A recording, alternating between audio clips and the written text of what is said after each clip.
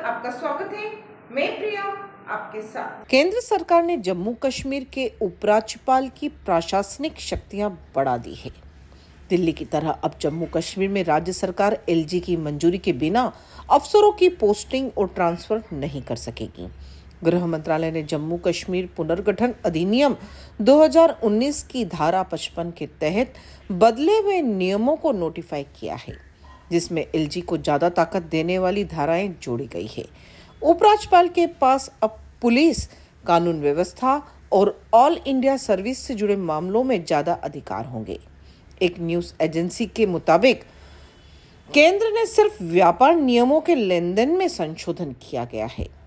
जम्मू कश्मीर पुनर्गठन अधिनियम 2019 में बाकी चीज़ों का ज़िक्र पहले से ही था। हालाँकि एजेंसी ने गृह मंत्रालय का जो नोटिफिकेशन जारी किया है, उसमें पहले के प्रावधान और 12 जुलाई को किए गए बदलावों के बीच स्पष्ट अंतर की जानकारी नहीं दी गई है। इसी के साथ बने रहिए राजनामा टीवी के साथ। धन्यवाद।